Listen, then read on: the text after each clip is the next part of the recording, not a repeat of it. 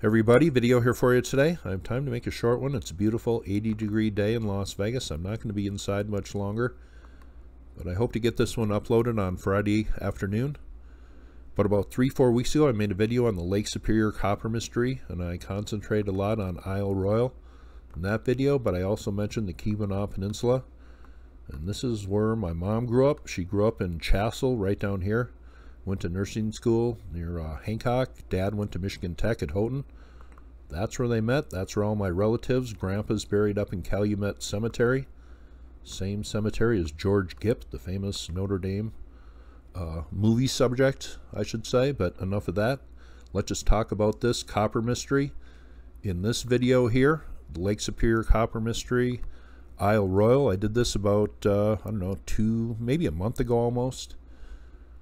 But in this video, I said this mystery maybe goes back about 6,500 years. Well, could it be even further back in history? Well, some new research has been done. A new story just came out today, so let's go over to that. I want to say first, before I go over to that story, I heard from a lot of Facebook groups in the copper country. A lot of people shared this video, and this one will go over 100,000 views pretty shortly. And that'll be the first one, I think, since last fall that has gotten that many views, so I appreciate that. Here's a story that just came out very recently on sciencemag.org. I will leave the link below. Ancient Native Americans were among the world's first coppersmiths. This came out at 2 p.m. today. About 8,500 years ago, hunter gatherers living beside Eagle Lake in Wisconsin hammered out a conical 10 centimeter long projectile point made of pure copper. The finely crafted point, used to hunt big game, highlights a New World technological triumph and a puzzle. A new study of that artifact and other traces of prehistoric mining concludes that what is known as the old copper culture emerged, then mysteriously faded far earlier than once thought, but there are some artifacts that were kind of reconstructed in the same way that they made them a long time ago. It says here, archaeologist Michelle Bebber at Kent State University made these replicas of copper arrowheads and eyes crafted by people of North America's old copper culture. But the dating of this sets it back a few thousand years earlier than I stated in that video just a month ago.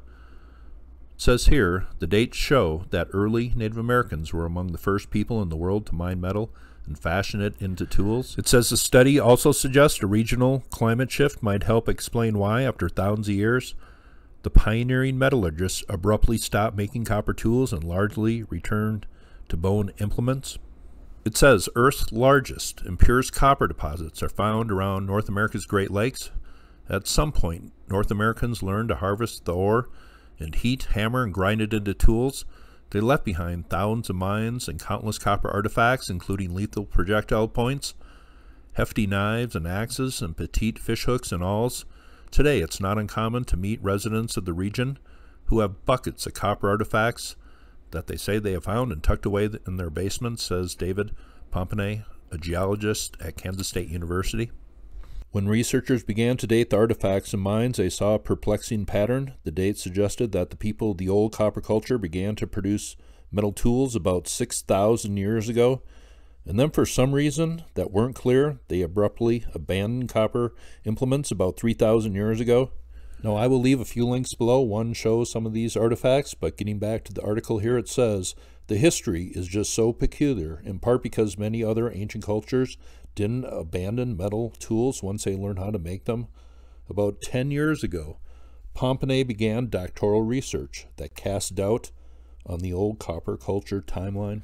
But the new analysis from extracted sediment cores from lakes adjacent to the prehistoric mines on Michigan's Keweenaw Peninsula and Isle Royale and measured trace metals now show that these copper mines began about 9,500 years ago in some areas, some 3,500 years earlier than once thought. It also ended earlier, about 5,400 years ago. It says a team presents new evidence for a revised timeline. The researchers used modern methods to reanalyze 53 radiocarbon dates, including eight newly collected dates associated with the old copper culture.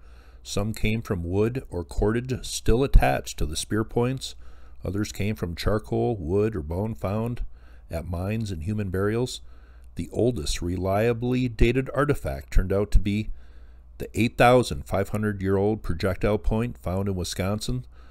So this dates it back at least a couple thousand years earlier than I said, and in some cases, maybe over 3,000 years. It says this month in radiocarbon, the team reports that the most reliable dates combined with the sediment data indicate the old copper culture emerged at least 9,500 years ago and peaked between 7,000 and 5,000 years ago.